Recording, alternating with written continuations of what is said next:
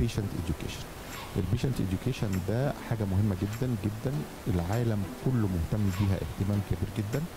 آه، المفروض إن الدكتور يدي وقت للمريض بتاعه آه، يفهمه إيه المرض اللي عنده إذا كان عنده مرض معين يفهمه إيه المرض ده المرض ده بيتعالج إزاي إيه أهمية الأدوية اللي هو بياخدها.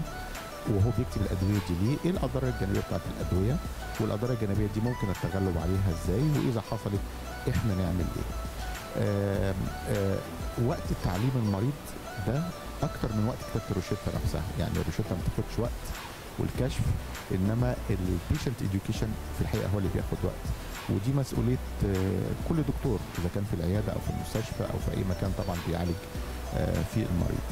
التعليم ده بيشمل حاجتين تعليم شفوي زي ما بنقعد نشرح للمريض وفي حاجات المفروض مطبوعة أو مكتوبة ممكن آه، تسلم للمريض نفسه. إذا كان مثلا مريض ضغط مرتفع بياخد يعني يعرف معلومات عن إيه هو الضغط المرتفع إيه أضرار الضغط المرتفع إيه طرق العلاج والأدوية وإيه الأضرار الجانبيه بتاعت الأدوية اللي هو بيستعملها وفايدة الأدوية طبعا. الأدوية دي ليها فوائد كتيرة جدا بالنسبة للعلاج.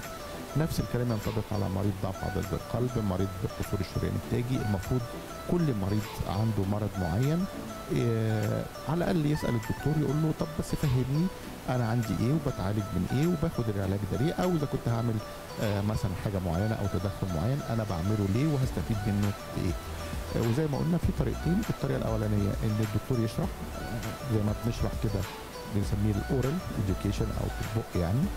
وفي تعليم اللي هو written حاجات بتبقى مطبوعة وجاهزة وبيسلموها للمريض ودي شوية إحنا هنا في مصر لسه مش مهتمين بيها ويا ريت نبقى مهتمين بيها بعد كده بره طبعا مهتمين بالكلام ده.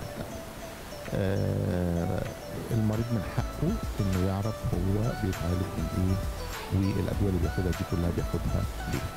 والدكتور واجب عليه إنه يدي وقت للمريض في التعليم.